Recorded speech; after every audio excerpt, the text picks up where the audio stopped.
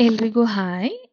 ಇವತ್ತು ನಾನು ಟೊಮೆಟೊ ಚಿತ್ರಾನ್ನ ನಮ್ಮ ಮನೆಗಳಲ್ಲಿ ಹೇಗೆ ಪ್ರಿಪೇರ್ ಮಾಡ್ತೀವಿ ಅನ್ನೋ ರೆಸಿಪಿನ ಶೇರ್ ಮಾಡ್ತಿದ್ದೀನಿ ಫಸ್ಟ್ಲಿ ಈರುಳ್ಳಿ, ಟೊಮೆಟೊ, ಮೆಣಸಿನ್ಕಾಯಿ, ಕೊತ್ತಂಬರಿ ಸೊಪ್ಪು ಚಾಪ್ ಮಾಡ್ಕೋಬೇಕು.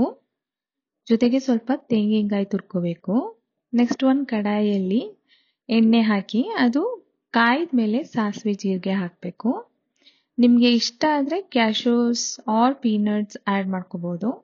ಸಾಸಿವೆ, ಜೀರಿಗೆ, ಚಟ್ಪಟ ಅಂತ ಸಿಡಿದ್ಮೇಲೆ ಕರ್ಬೇವಿನ ಸೊಪ್ಪು ನೆಕ್ಸ್ಟ್ ಈರುಳ್ಳಿ, ಸ್ವಲ್ಪ ಅರಿಶಿನ ಹಾಕಿ, ಈರುಳ್ಳಿ ಲೈಟ್ ಬ್ರೌನ್ ಬರೋವರೆಗೂ ಫ್ರೈ ಮಾಡ್ಕೋಬೇಕು.